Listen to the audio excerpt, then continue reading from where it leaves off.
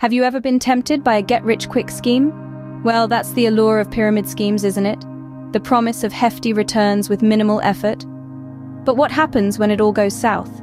Today we're exploring some infamous pyramid schemes that have collapsed, leaving Kenyans out of pocket by billions. First up, we have Amazon web worker Africa.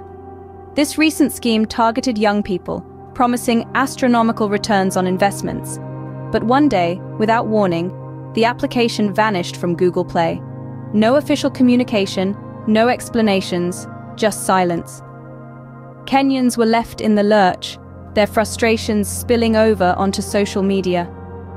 Although an American was later arrested in connection with the scheme, the victims are still waiting to recover their money. Then, there was Crowd One. This pyramid scheme took the world by storm in 2020, presenting itself as a multi-level internet marketing business.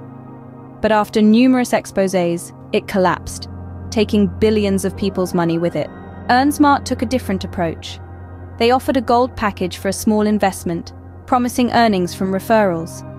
They even claimed to educate their clients, but the material was simply copied from the internet.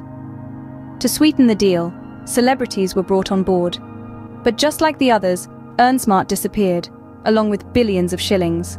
DECI, a scheme from the mid-2000s, promised to double investments in just three months. This resulted in people selling their lands, vehicles, and draining their savings in the hopes of becoming millionaires. But DECI collapsed in 2007, with Kenyans losing close to 2 billion shillings. Despite their pleas, the victims have never been compensated.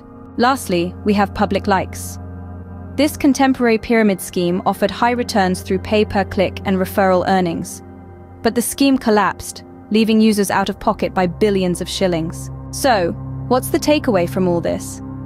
Pyramid schemes might seem like a quick way to make money, but they're often too good to be true. Always exercise caution when investing your hard-earned money. And remember, if it sounds too good to be true, it probably is.